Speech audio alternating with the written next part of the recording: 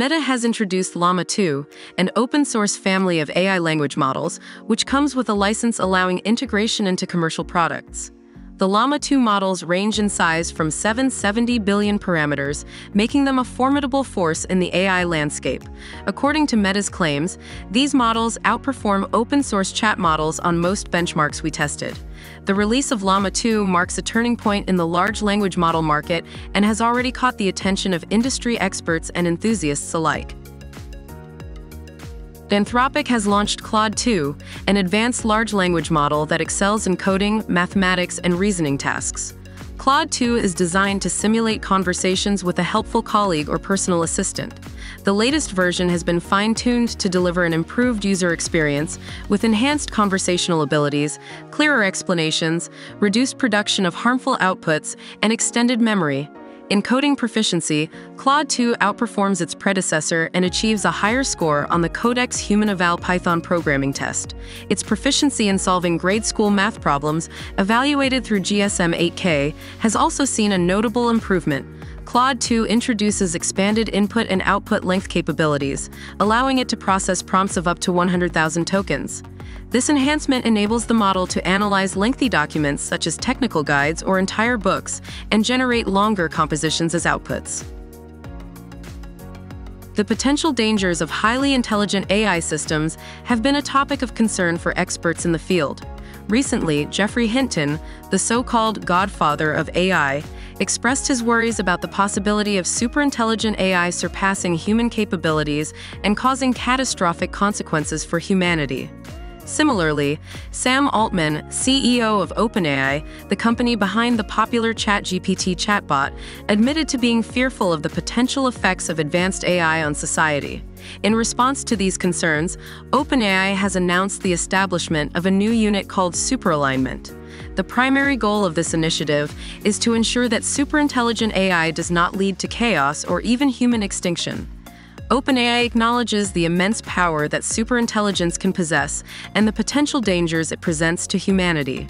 While the development of superintelligent AI may still be some years away, OpenAI believes it could be a reality by 2030.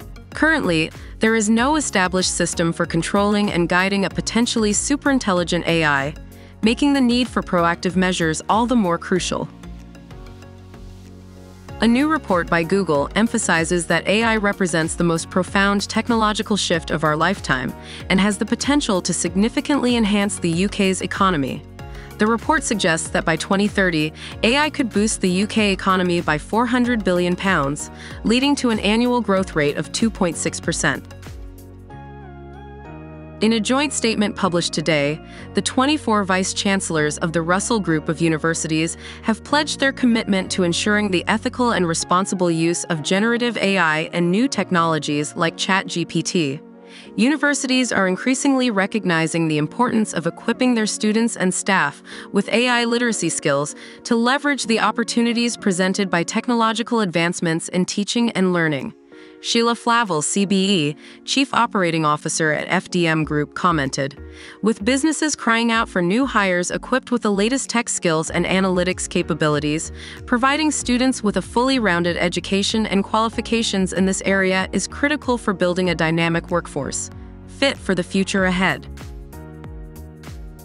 In a shift from his previous hands off approach, Google co founder Sergey Brin has been actively involved in the company's AI endeavors. Brin has been particularly focusing on the development of Google's next generation AI model, Gemini. According to reports from the Wall Street Journal, Brin has been showing up at Google offices three to four days a week since the buzz around the success of ChatGPT began late last year. Brin's involvement has been primarily in supporting the hiring process and strategically selecting key personnel for the AI team after the loss of several important researchers in the field. Google and Alphabet CEO Sundar Pichai has embraced and encouraged Brin's newfound engagement with the company. The co-founder's previous lack of interest in AI has been well documented, with some employees revealing that he had neglected the early developments of Google's Brain division, which played a pioneering role in shaping today's AI landscape. ChatGPT's success appears to have prompted Brin to catch up on the latest AI advancements and acknowledge its importance. Microsoft's plans to integrate a new version of ChatGPT into its Bing search engine set off alarm bells at Google. In response, Google CEO Sundar Pichai invited the company's founders, Larry Page and Sergey Brin, to return for a series of meetings to review its AI strategy. Google launched its own AI language model, Google Bard, to compete with OpenAI's product. Bard's launch was considered botched by many Googlers, and the chatbot gained a public reputation as being less sophisticated and more prone to errors compared to ChatGPT. Since then, Bard has undergone significant improvements. OpenAI has announced that it will establish its first international office in London. The strategic move demonstrates OpenAI's commitment to expanding its operations, embracing diverse perspectives, and accelerating its mission of ensuring that artificial general intelligence benefits all of humanity. London, renowned for its exceptional talent pool, was chosen as the ideal location for OpenAI's international office. The city's vibrant technology ecosystem, welcoming regulatory environment, and thriving community of innovators make it the perfect hub for OpenAI to advance its cutting-edge research and engineering capabilities. The London teams will work closely with local communities and policymakers, fostering collaboration on OpenAI's mission to create and promote safe AGI.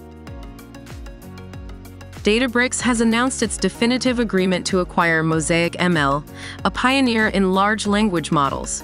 This strategic move aims to make generative AI accessible to organizations of all sizes, allowing them to develop, possess, and safeguard their own generative AI models using their own data.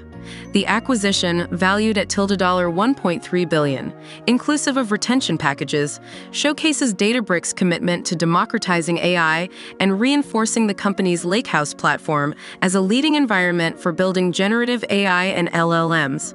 The primary objective of this acquisition is to provide organizations with a simple and rapid method to develop, own, and secure their models. By combining the capabilities of Databricks' Lakehouse platform with Mosaic ML's technology, customers can maintain control, security, and ownership of their valuable data without incurring exorbitant costs. NHS staff will soon have access to advanced AI technology to enhance the speed and accuracy of patient diagnosis and treatment, thanks to a new £21 million fund. The AI Diagnostic Fund will allow NHS trusts to apply for funding to expedite the deployment of AI imaging and decision support tools, particularly for diagnosing conditions such as cancers, strokes, and heart conditions.